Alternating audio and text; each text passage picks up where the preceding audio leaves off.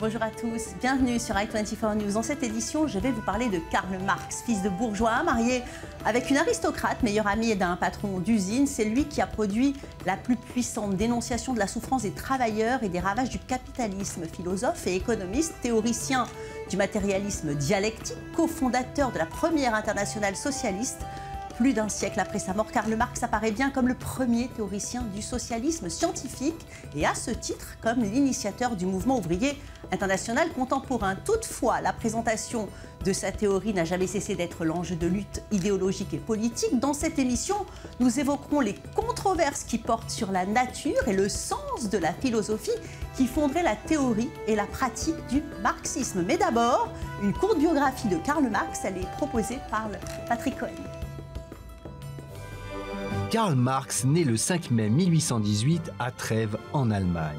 Issu d'une famille d'origine juive convertie au protestantisme, il est le deuxième d'une fratrie de huit enfants. Il étudie le droit, l'histoire et la philosophie et très tôt, il s'implique dans le Parti communiste. Son petit groupe d'intellectuels défend le renversement du système de classe. Marx renonce à une carrière universitaire car ses idées dérangent.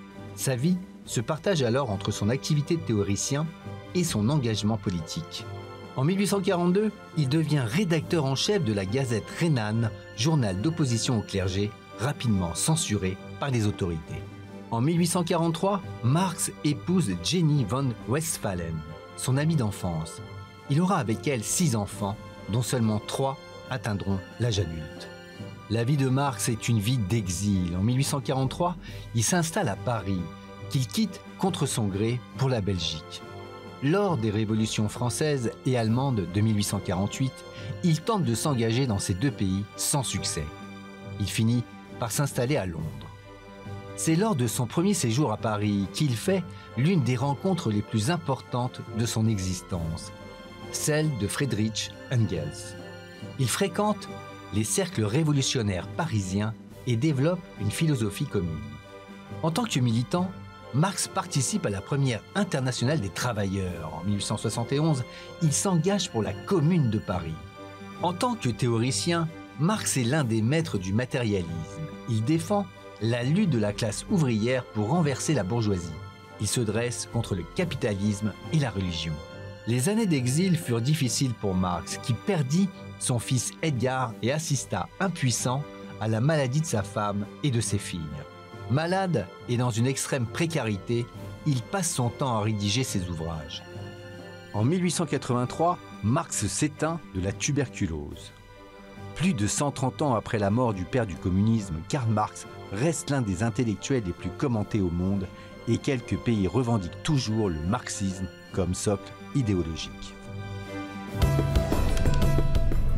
Yvon Quignou, bonjour. Bonjour. Merci à vous d'avoir accepté notre invitation sur i24 News. Oui, puis merci à vous aussi pour euh, pouvoir intervenir sur un thème pareil, Karl Marx. Alors, vous êtes donc essayiste, vous êtes philosophe, vous avez publié plusieurs ouvrages hein, justement sur Karl Marx, notamment Retour à Marx, et puis Karl Marx dans la collection Idées reçues aux éditions Le Cavalier Bleu ou encore l'homme selon Marx. Alors d'où vous êtes venu finalement cette idée euh, d'écrire sur Marx? Alors d'abord c'est l'idée de m'engager politiquement euh, que je tiens de mon prof de philo, philo mhm. terminale, qui était un homme extraordinaire, n'en dis pas plus, qui était à la CFIO, mais alors qui nous apprenait à penser par nous-mêmes, mais qui se moquait de Karl Marx et de Freud, qui sont devenus mes deux penseur de référence. Mhm.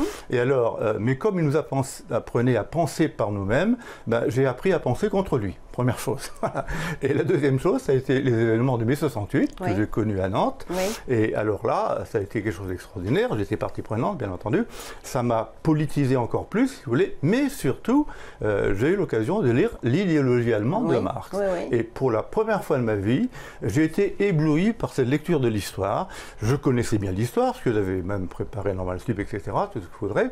Mais euh, l'histoire restait pour moi une espèce de fouillis d'événements. voyez. Bon.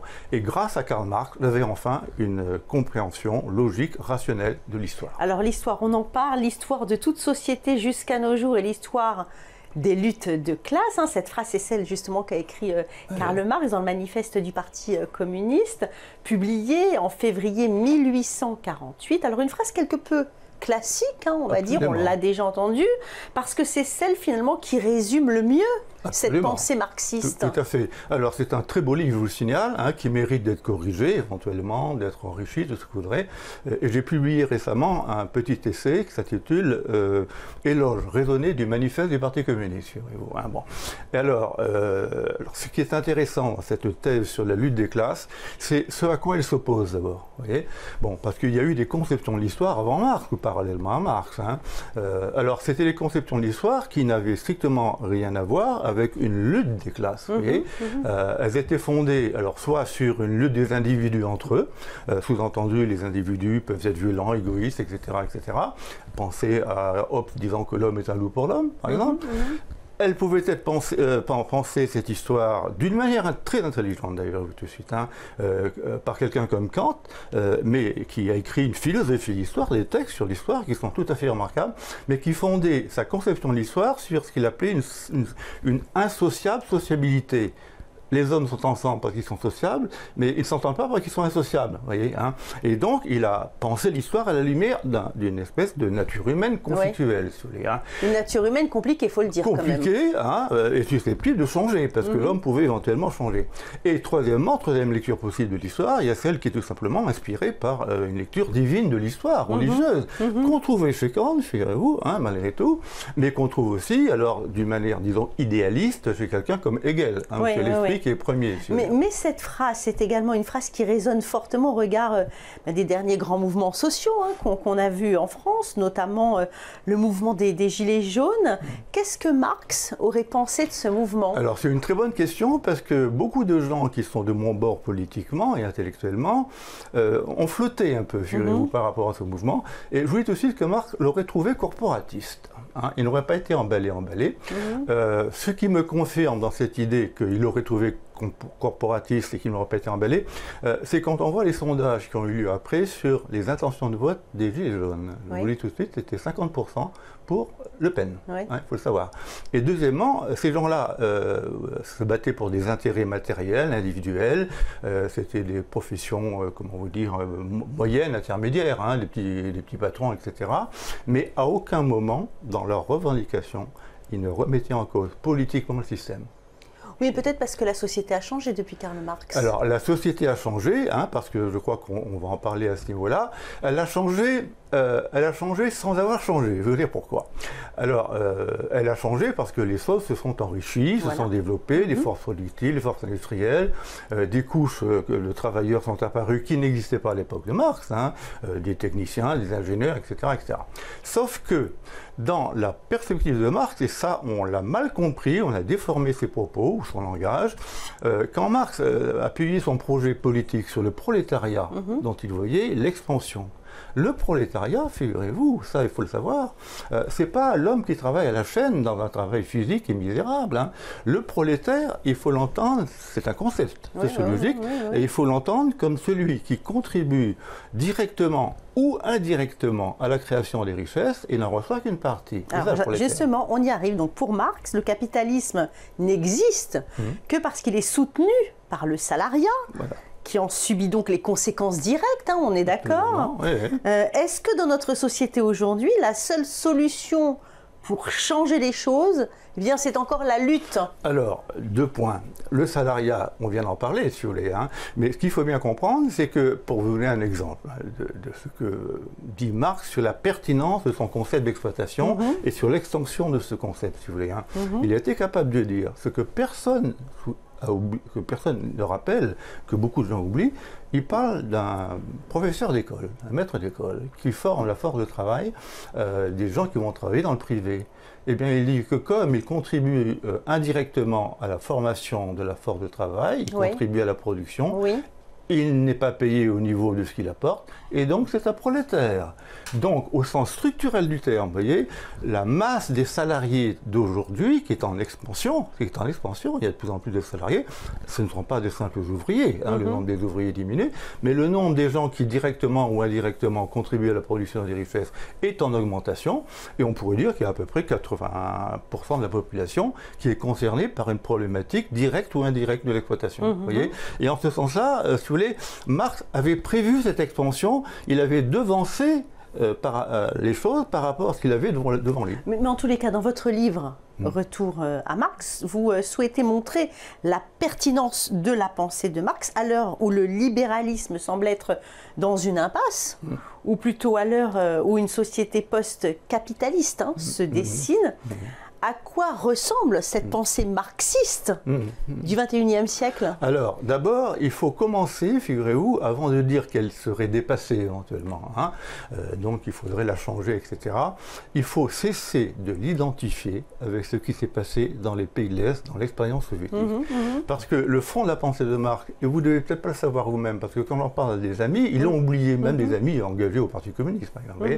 Euh, à savoir que euh, la condition de possibilité, de passage au socialisme et a fortiori au communisme, c'est l'existence d'un capitalisme développé avec euh, une immense majorité de travailleurs, si vous voulez. Hein.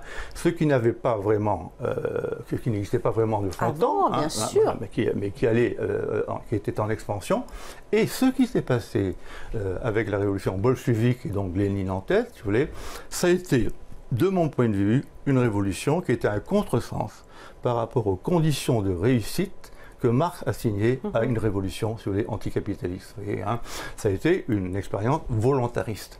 Et à un moment donné, Lénine s'en est aperçu, voyez.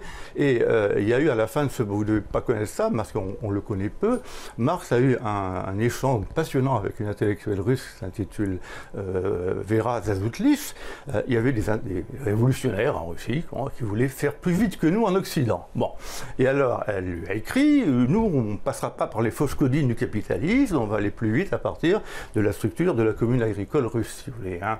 Et Marx lui a écrit dans un, échange de lettres absolument époustouflant et qu'on ne connaît pas, je veux bien qu'une révolution se déclenche dans un pays sous-développé, mais elle ne pourra réussir que si elle est aidée par une évolution d'un capitalisme développé. Mhm, mhm. C'est ce qui s'est passé parce que la révolution qui a été tentée a échoué, hein, elle a été écrasée dans le sang, euh, la révolution spartakiste, si vous voulez, hein, et du coup, Lénine s'est retrouvé tout seul avec son expérience et il est passé à la nouvelle politique économique qui était une politique capitaliste, sauf qu'il est mort avant de pouvoir aller jusqu'au bout et qu'il a été remplacé par un tyran qui est Staline.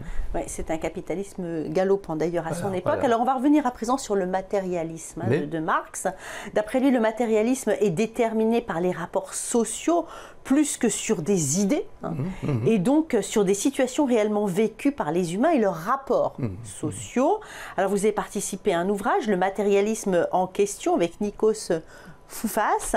Est-ce que vous pouvez nous éclaircir euh, sur ce matérialisme de Marx? Alors, le matérialisme de Marx, c'est d'abord donc un anti-idéalisme, par définition, puisque c'est un matérialisme. Hein. Donc, comme vous le dites vous-même, euh, ce ne sont pas les idées qui mènent le monde, hein, mais euh, ce qui mène le monde, c'est le mouvement de développement des forces matérielles de production, hein, donc des forces productives, et en même temps, les rapports sociaux qui sont greffés sur ces forces productives, étant admis que ces forces productives sont dominées par la propriété privée. Mhm. C'est en ce sens-là que l'histoire de toute société est l'histoire de lutte des classes, parce que pour qu'il y ait classe sociale, il faut qu'il y ait propriété privée. Certains possèdent et d'autres ne possèdent pas. Alors j'aimerais maintenant parler de la relation entre Karl Marx et puis Friedrich euh, Engels.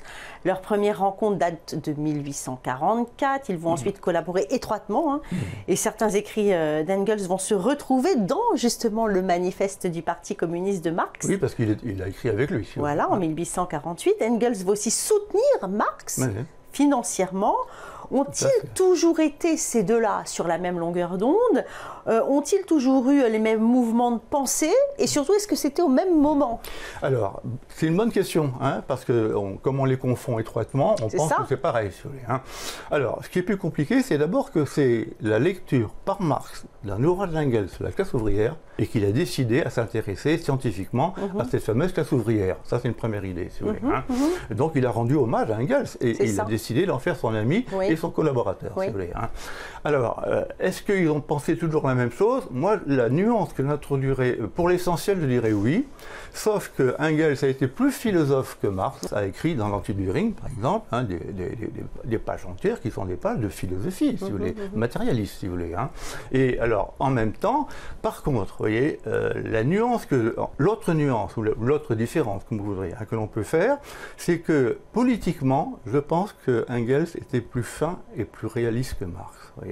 Et tout à la fin de sa vie, Marx était mort. hein, dans les années 90 face à des gens du Parti social-démocrate, par exemple, ou d'autres, ou des mouvements un peu gauchistes qui disaient mais la condition ouvrière s'accroît d'une manière, manière détestable, etc. Les gens sont de plus en plus pauvres, etc. Engels lui dit Eh oh, ça va pas, non euh, Quand vous dites cela, vous niez tous les acquis de la lutte syndicale et politique de classe qu'on a connue depuis 20 ou 30 ans.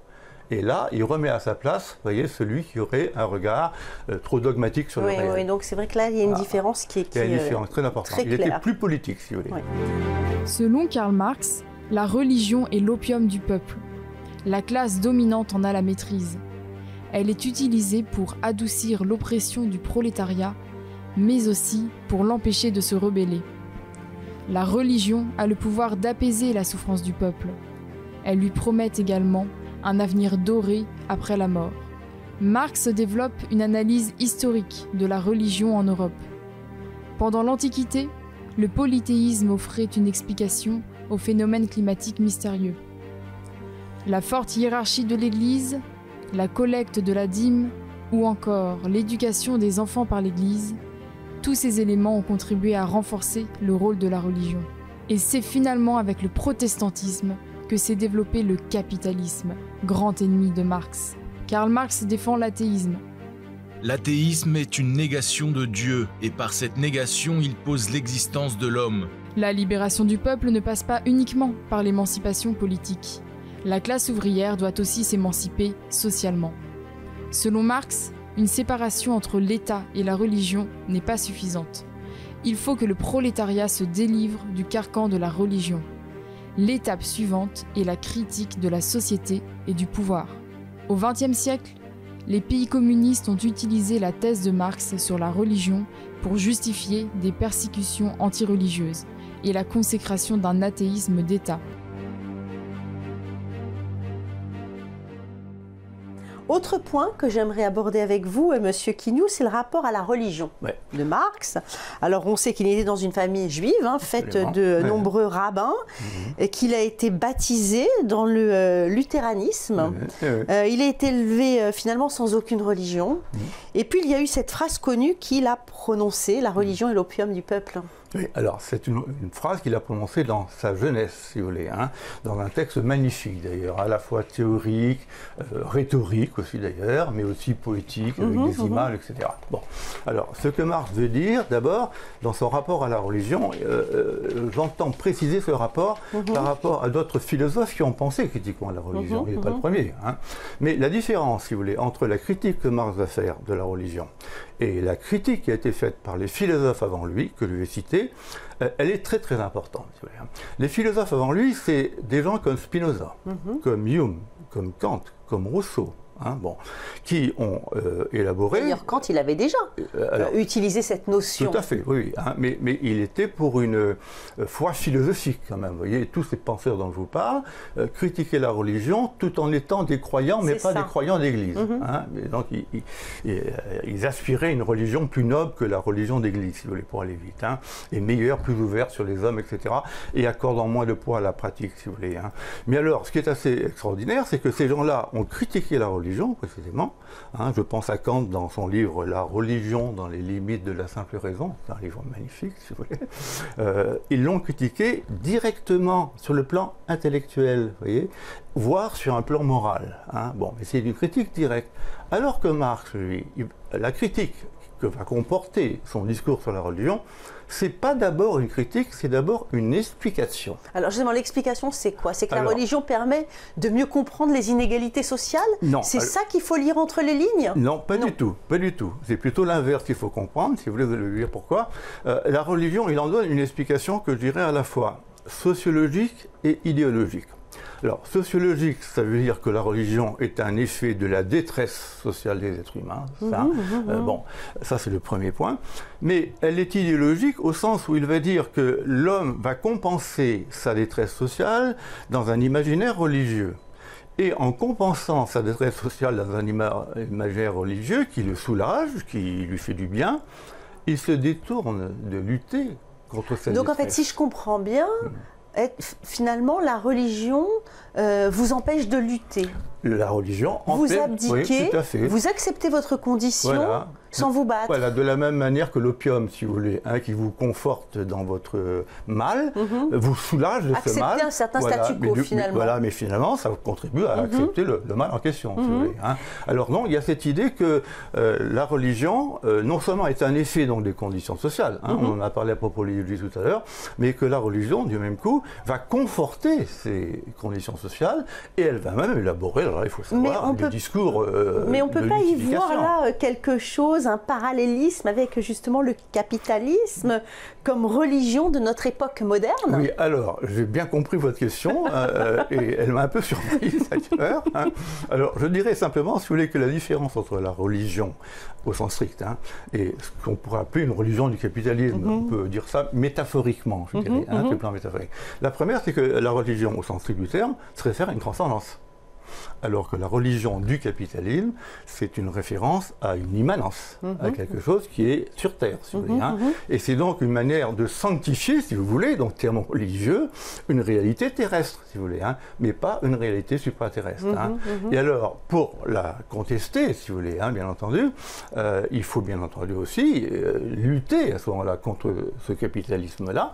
Il faut s'empêcher de sanctifier à l'aide de l'i- euh, l'aide de l'idéologie, de fournir des justifications euh, faciles et, et rapides. Et euh, en même temps, si vous voulez, euh, dans cette perspective, il faut ouvrir, si vous voulez, un, un- un- un au-delà, mais qui n'est pas un au-delà de la Terre, mais qui est un au-delà du monde présent, qui n'est pas tout à fait pareil. Oui, alors, Monsieur Quignou, on a compris que vous étiez un adepte de Karl Marx. Il y a quand même des critiques à son encontre. Tout à fait. Alors, les critiques qu'on peut faire de Marx, j'en ai une, moi, qui me, qui me paraît importante. Elle est due à l'influence que Hegel a eue sur lui, avec sa dialectique.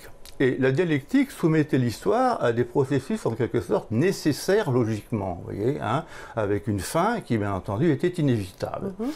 Marx, lui, euh, il raisonne en termes de déterminisme historique, hein, le poids des conditions euh, sur les hommes et sur leur action historique. Sauf que il a tendance, il a eu tendance, il a même, dit dans certains textes, hein, y compris dans le manifeste du Parti communiste, hein, que le déterminisme historique chez lui prend parfois la forme de ce que l'appelle un nécessitarisme.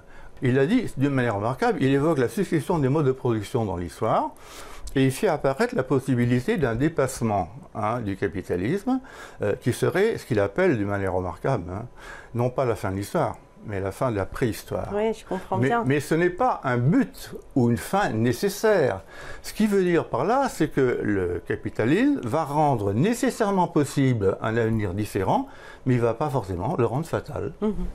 Alors la pensée de Marx, c'est une pensée, on l'a compris, hein, complexe et encore mal connue, hein, même de ceux euh, qui se réclament du courant Oui, marxiste. Euh, comment vous expliquez ça?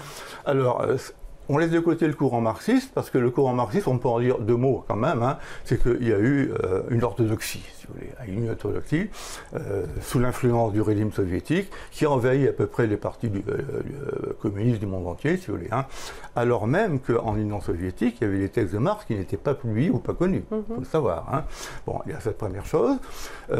Il y a aussi, alors il faut le savoir, la domination de l'idéologie capitaliste sur les consciences, hein, sur les intellectuels, et il faut un, un- un brin de courage intellectuel, si vous voulez, pour pouvoir se dresser contre cela, et je vous le dis, euh, parce que je l'ai écrit dans la préface de mon dernier livre contre l'idéalisme philosophique, hein, je peux vous dire que il y a une chape de plomb qui pèse, qui a pesé longtemps sur le marxisme en France, dans les médias, qui font très peu euh, de recension des ouvrages marxistes, il faut le savoir, hein, je pourrais vous donner des noms, hein, mais aussi à l'université, où il y a un filtrage des nominations, si vous voulez, qui est assez effrayant. On prétend que, on prétend, en un sens, c'est vrai, que Marx aurait voulu se débarrasser fondamentalement de la morale. Or, ça c'est ce qu'il prétend, prétend. Mais quand vous lisez son texte, hein, et qu'il parle des travailleurs exploités, quand il parle de l'aliénation des êtres humains, quand il parle de la misère, etc., etc., c'est pas simplement un discours positif ou scientifique, c'est un discours critique Oui. qui est habité par des valeurs morales et les valeurs universelles. Et alors, figurez-vous, et je vais vous l'apprendre parce qu'on ne se souvient pas, dans son premier grand texte de jeunesse, euh, le texte dont on parlait tout à l'heure à propos de la religion opium du peuple, si vous voulez, à la fin il dit, mais tout ce que je viens de vous dire débouche sur, tenez-vous bien, l'impératif catégorique de mettre fin à une société où les hommes sont humiliés, dominés, etc impératif catégorique, c'est un concept tiré de la morale de Kant, Donc je dirais que l'œuvre de Marx est une œuvre scientifico-critique. C'est à la fois scientifique et critique. Mais alors aujourd'hui, que reste-t-il justement du marxisme? Parce qu'on l'invoque, on l'invoque à tort et à travers. Hum. Réellement, que reste-t-il de lui alors, de notre société actuelle L'idée qu'il pourrait ne rien rester, mhm. euh, ça viendrait de ce qu'on identifierait à tort le communisme à ce qui s'est fait en son nom dans les pays de l'Est. Mhm. Or, je vous l'ai dit, euh, il n'était pas question de parler de communisme dans les conditions d'un pays sous-développé. Il n'y avait pas de classe ouvrière majoritaire. Et par ailleurs, on n'en a pas peut-être suffisamment parlé, mais Marx ne pensait la transition au communisme, bien qu'il ait employé la notion de dictature du prolétariat, que sous une forme démocratique. Or, les pays de l'Est, ça a été un système autocratique et criminel, si vous voulez. Hein. Donc, si vous voulez, avant de dire qu'est-ce qui reste du communisme, commençons par nous débarrasser de l'identification rapide et superficielle qu'on pourrait faire entre le marxisme et ce qui s'est fait en son nom. Merci beaucoup, Monsieur Quignou, de votre intervention sur i24 News et de nous avoir éclairé sur cet homme, Karl Marx, mal compris encore aujourd'hui. Voilà. Et, en fait, grâce à vous, on arrive un petit peu plus quand même à cerner sa personnalité et puis surtout ce qu'il a voulu nous inculquer. Voilà, et puis merci pour vous euh, d'éclairer aussi les, auditeurs et, les téléspectateurs. Merci. Voilà. C'est fini pour aujourd'hui. Karl Marx s'est battu toute sa vie pour défendre son idée de la liberté. Celui qui s'imaginait d'abord poète s'est finalement passionné. Pour la philosophie, il restera le défenseur de la cause ouvrière car pour lui, faire de leur cause une théorie critique, c'était leur rendre eh bien, leur misère visible. Reste avec nous, on se retrouve la semaine prochaine pour une nouvelle rencontre avec l'histoire.